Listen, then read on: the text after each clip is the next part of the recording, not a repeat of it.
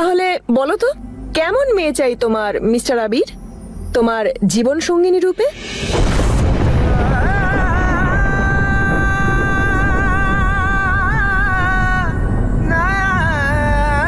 যেমনটা মা আর পিসিমা বলবে আমায়। Mamma's boy. যাই হোক মনে নিশ্চয়ই একটা ছবি আছে। তুমি কেমন জীবন সঙ্গিনী চাও? ঠিক যেরকম ছবি আমার মনে রয়েছে আমি সেরকমই মেয়ে পেয়ে যাব। একদম। রিমা মাসি সম্বন্ধ করে এমন ভাবে যে সবাই দেখে বলে লক্ষ্মীনারায়ণের জুটি। তাহলে বলো কেমন হবে তোমার ড্রিম গার্ল?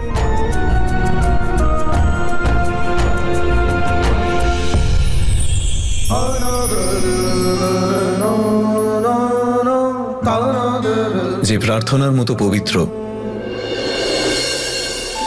লালটুদা? অনেক অনেক ধন্যবাদ। ধন্যবাদ।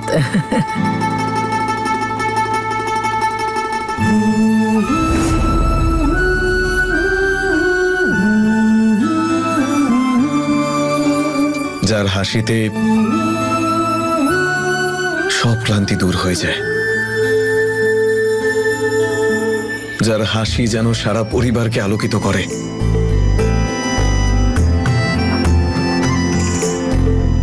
যে আমার মায়ের মধ্যে নিজের মাকে খুঁজে পাবে, যার সঙ্গে এক যুগ কয়েক মুহূর্তে কাটবে।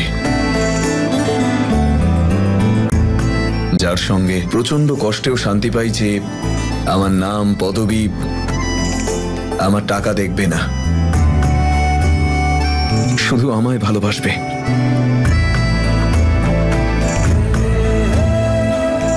দেখুন আবির, আমি তো আপনার পাশেই আছি।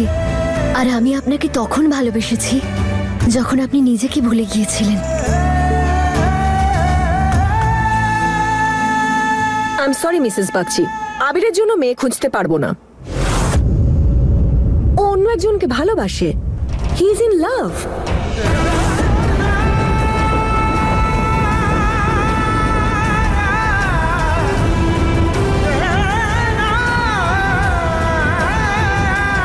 না না, আপনি কিসব কথাবার্তা বলছেন? আমি আমি কাউকে ভালো টালোবাসি না। কাউকে ভালোবাসি না আমি। ইনফ্যাক্ট আমি তো আপনাকে বললামও যে মায়ের পছন্দ মানেই আমার পছন্দ। আপনি প্লিজ মা। নমস্কার। মিসেস বাগচি আমি এক্সপিরিয়েন্স থেকে বলছি। ও ভালোবাসে অন্য কাউকে। আরে, না না, দিদি। তেমন কিছু নয়। সেরকম কিছু হলে আমি ডাকতাম কেন? ওর জন্য মেয়ে খুঁজতে। ও, ওই আবির না আসলে পোয়েট তো? সেই জন্য ওর ফিলিংসগুলো এভাবে কবিতার মতো করে প্রকাশ করে। আপনি শুধু যত তাড়াতাড়ি পারেন, একটা ভালো মেয়ে খুঁজে দিন। তার পরিবারটা যেন ভালো হয়।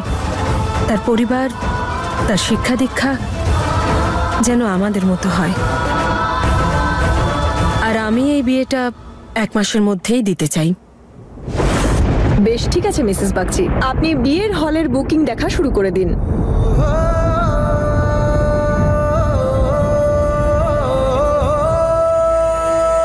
আবিরের জন্য মেয়ে খুঁজতে পারব না। ও অন্য একজনকে ভালোবাসে। হি ইজ ইন লাভ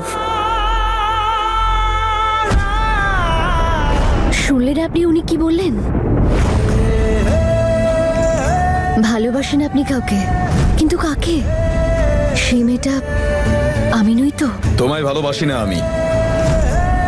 যে নির্জাকে আমি চিনতাম, সে খুব ভালো মনের মেয়ে। পবিত্র ছিল তোমার মতো নয়। তোমার মতো মেয়েদের মনে কেন? বাড়ির দরজাতেও দাঁড়াতে দিতে নেই। আগামী এক মাসে আমি আমার ভাগ্যের রেখায় অন্য একটি মেয়ের নাম লিখতে চলেছি। আর সেই মুহূর্ত থেকে তোমার এবং তোমার স্মৃতির সাথে আমার চিরবিচ্ছেদ হবে। অটো?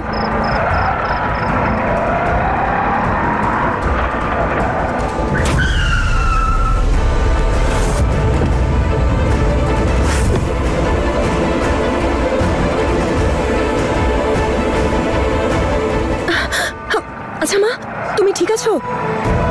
আমি তোমাকে ডাক্তারের কাছে নিয়ে যাই? আমি কিছু করতে পারি তোমার জন্য? সো সরি না আপনি আমাকে কাছের পুলিশ স্টেশনে নিয়ে যাবেন? পুলিশ? এটা আমি ইচ্ছে করে করিনি। দেখো এটা তো একটা- অ্যাক্সিডেন্ট ছিল। আমি জানি। আপনি চিন্তা করবেন না। আমি পুলিশ স্টেশনে আপনার কমপ্লেন করাতে যাচ্ছি না। আমার ওখানে অন্য একটা কাজ আছে। ঠিক আছে মা। চলো।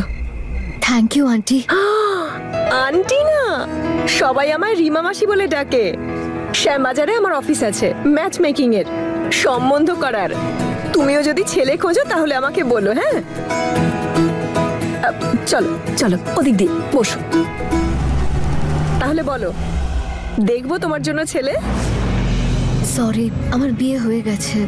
এটা তো খুব খারাপ খবর দিলে। এত ভালো মেয়ে কিন্তু এখন আর কোনো ছেলে পাবে না। এমনি জিজ্ঞেস করছি জীবন সঙ্গী হিসেবে তোমার ঠিক কেমন ছেলে পছন্দ? বলো না আমার কাছে লজ্জা কিসের? আমার এমন জীবন সঙ্গী চাই যে কখনো আমার হাত ছাড়বে না আর না কখনো আমার সঙ্গ। কিন্তু এরকম মানুষ আজকাল পাওয়া যায় কোথায়? মনে হচ্ছে কেউ তোমাকে খুব আঘাত দিয়েছে। আমার সাথেও এমন একজনে দেখা হলো। যে তাকে খুঁজছে যাকে পাওয়ার কোনো আশাই নেই। এক হলে তুমি আর একজন হলো সেই ছেলেটা। কোন ছেলেটা? ওই যে যা তোমার লক্ষ্য। এই নাও এসে গেছি আসল জায়গায়। ওই যে police station. And sorry dear যদি রিমা মাসির সম্বন্ধ করার সাথে সাথে দুটো মনে এক করার ক্ষমতা থাকতো তবে নিশ্চয়ই তোমার সাথে ওই ছেলেটার দেখা করাতাম। থ্যাংক ইউ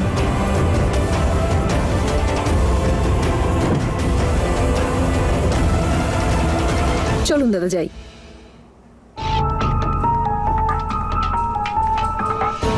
নমস্কার ম্যাডাম। এসো। একটা চা।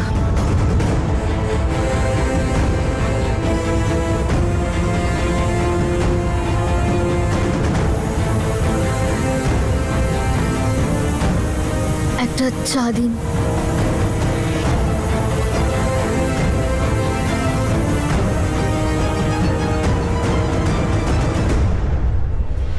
আমায় ক্ষমা করবেন। আমি কাজটা করতে পারিনি। আমি জানতাম তোমার দ্বারা এটা হবে না। আমি চেষ্টা করেছিলাম।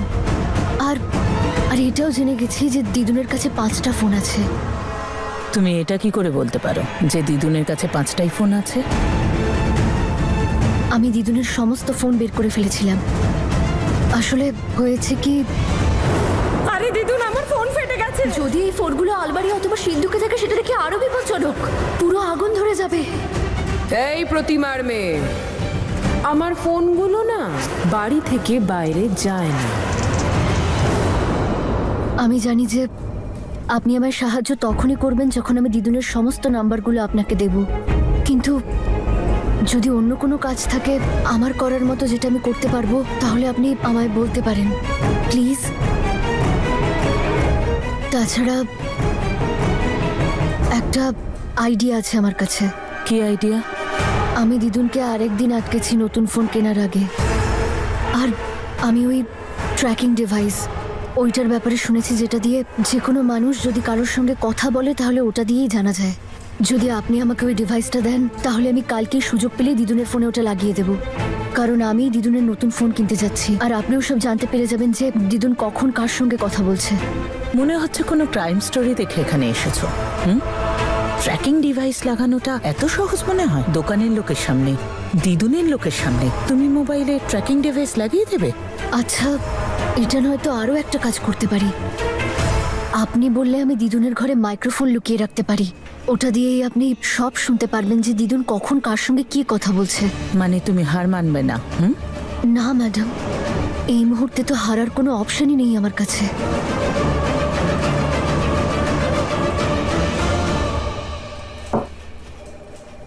কত হয়েছে?